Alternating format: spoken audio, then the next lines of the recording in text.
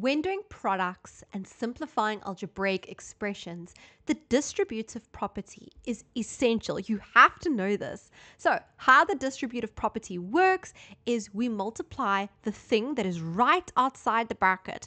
I always tell my students you look for the thing that is squashed up against the bracket, no sign separating that thing and the bracket. And we multiply that into the bracket. Okay?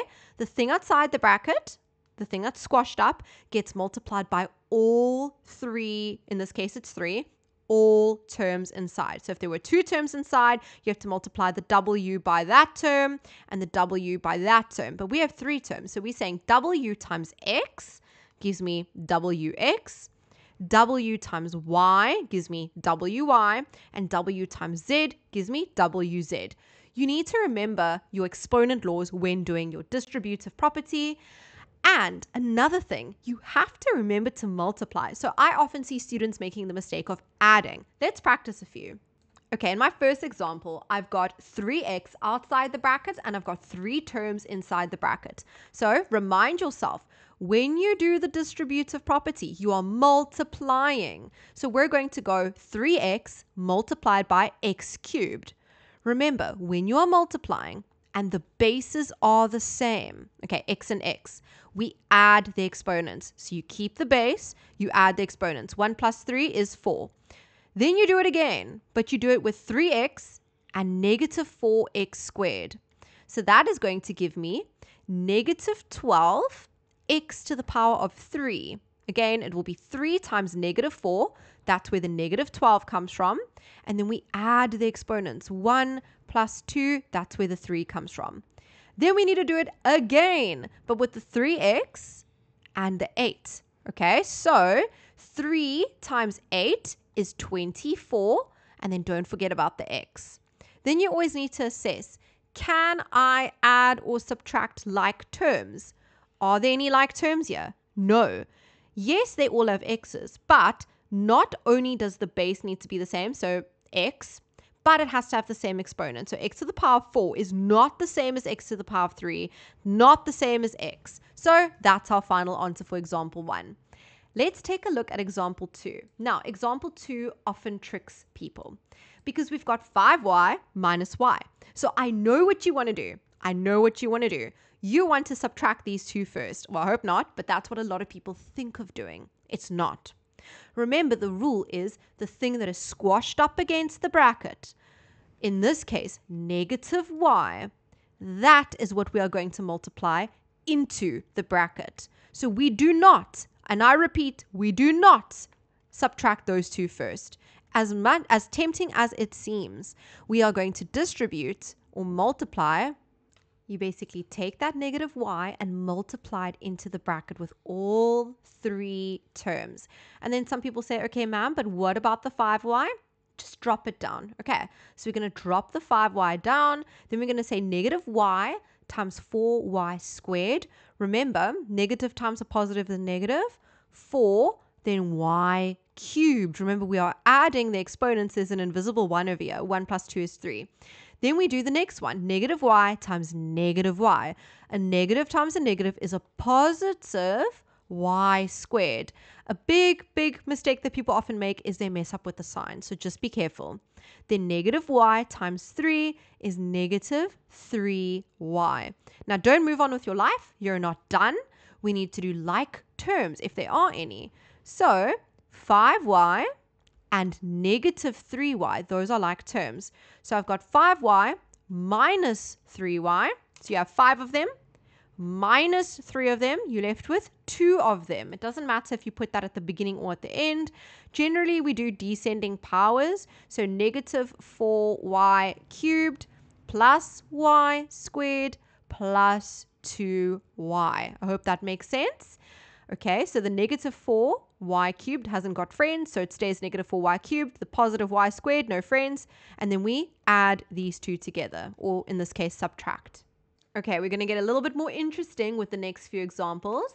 This one is 2 over 3 x squared. And now immediately people, when they see fractions, they're like, what? Don't freak out. Apply the distributive property, the distributive law, apply it like normal. We'll deal with the fractions as they come. Okay, so what do I mean? We're going to take the 2 over 3x squared. That is the thing that is squashed up against the bracket. It's right outside. It's going to be distributed or multiplied into the bracket again with all three terms. I don't know why I keep doing 3. It doesn't always have to be 3. It can be 2. It can be 5. It can be 6. Okay, so first things first.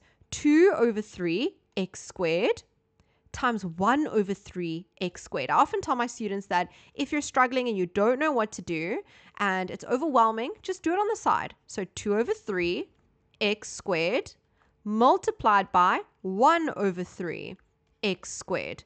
First things first is these are going to get multiplied together. And if you've forgotten, how do you do fractions? It's top times top. So 2 times 1, which is 2, and bottom times bottom, 3 times 3, which is 9. Okay, so we've got 2 over 9, and then we've got x squared times x squared. Remember, when we are multiplying and the bases are the same, we keep the base and we add the exponents. So 2 plus 2, 4. Okay, so we've done one of our arrows. We've done this first one over there. Our second arrow. We've got 2 over 3 x squared being multiplied by negative 6x. Now, you can also use your calculator to help you. What we're doing again is we multiply the big numbers, the coefficients, 2 over 3 times negative 6. If you use your calculator, it tells me that 2 over 3 times negative 6 is negative 4. Okay? Another way you can do it is 2 over 3 times negative 6 over 1. Remember, whole numbers can be written over 1. You do top times top, so that's negative 12, and bottom times bottom, which is 3. So negative 12 divided by 3, negative 4. So you see, we can get there without a calculator. So that's the big numbers, the coefficients. Then x squared times x, remember, bases are the same. We are multiplying. We keep the base and add the exponents. 2 plus invisible 1 gives me 3. Then we need to do the last one, the last, so that was that one. Now we are doing the last one. So 2 over 3 x squared multiplied by 3. Remember, 3 over 1. So we go this fraction times this fraction. So you can use your calculator as well, but 2 over 3 times 3 over 1. So top times top, 6. Bottom times bottom, 3. 6 over 3 is 2, positive 2 or you can just use your calculator and then don't forget about the x squared. In this case, we do not have like terms. Remember, in order for there to be like terms, not only must it be x, x, x, but the exponents need to be the same. Please don't forget this. Okay, let's do these last two. They're a little bit more tricky. Let's see how we do. In this example, we need to again distribute, but this gets a little bit more confusing because of this term over here. I've seen students do some weird things. Just remember, the thing that you're distributing into the bracket is the term that is squashed up against the bracket. There's no sign separating that term and the bracket. So in other words, it's very clear that over here, we don't distribute this because there's a sign separating it. So what we do is we simply just carry this term down into the next line. But what I do distribute is this into the bracket.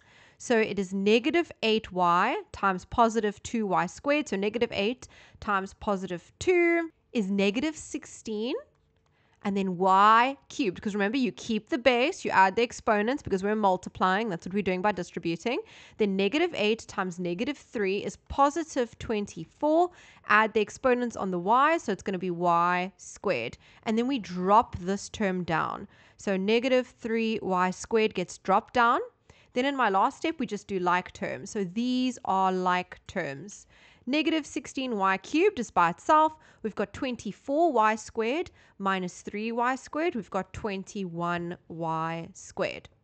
I wanted to contrast it with this example where I have the negative 8y squashed up against the bracket and there's a 2y. Can you see that there's no sign separating the 2y and the bracket? Same thing with the negative 8y. So what I'm going to do in this case is what I'm first suggesting is multiplying these two together and then distributing that into the bracket.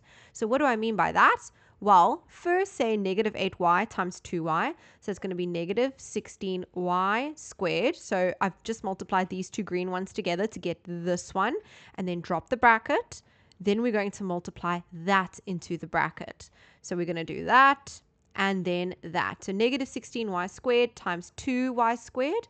That's negative 32y to the power of 4. Remember, keep the base, add the exponents. And then negative 16 times negative 3 Remember, negative times a negative is a positive. 16 times 3 is 48. And then y squared multiplied by y to the power of 1 is y cubed. Another way to do this would be as follows.